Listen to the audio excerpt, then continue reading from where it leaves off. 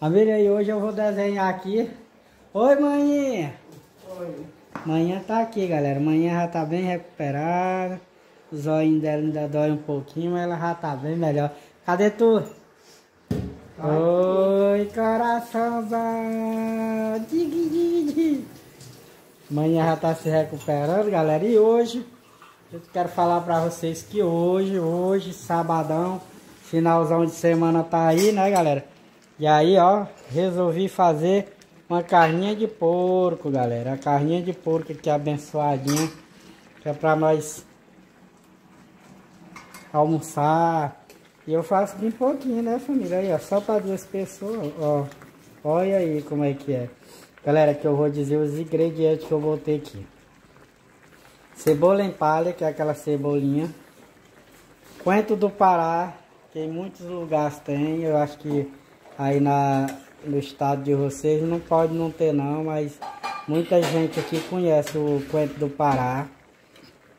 Aquela cebolinha, né? A cebola de cabeça. Tomate, alho, pimentinha, pimentinha a gosto, sal a gosto. E é isso aí, galera, ó. Carninha de porco aqui abençoada.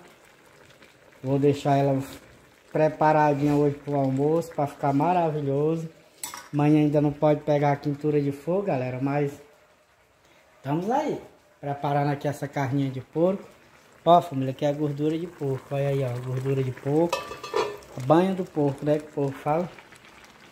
Pois é, galera, estamos aqui fazendo essa carninha de porco abençoada, que é pra ficar maravilhosa. Vocês aí que sabe fazer uma carninha de porco aí, fala aí comigo aí.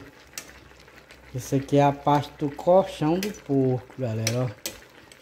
Parte do pernil.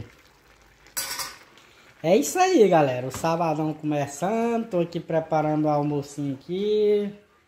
Só na paz, tranquilo. Manhã já tá ali, de boa. E tamo junto.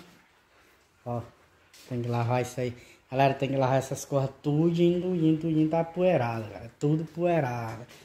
Mas vai dar tudo certo. Em nome de Jesus, amanhã já tá se recuperando bem. Vai dar tudo certo.